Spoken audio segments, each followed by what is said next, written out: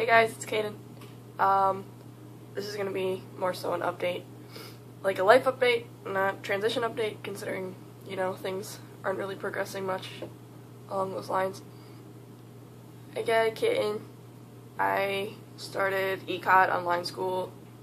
I think I said that already in my last video. I got a job at McDonald's, so now I'm not gonna be broke all the time. So that's good. So I can start saving up for um, I'm guessing like I'm not gonna my mom's not gonna let me start testosterone. So I'm probably gonna just do it when I turn 18. So I'm gonna save up my money until then, which is in July. But I'm impatient, but I'll wait. I think that's it. I don't know. My wisdom teeth are healed. I don't know. Like I can eat now.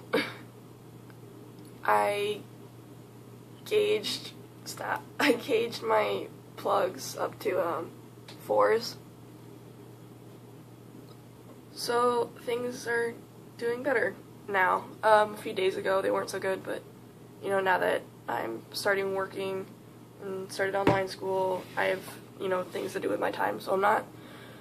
I don't have so much time to overthink things and cause me to get sad. I uh, guess this is it. I'm gonna have Skylar come say goodbye.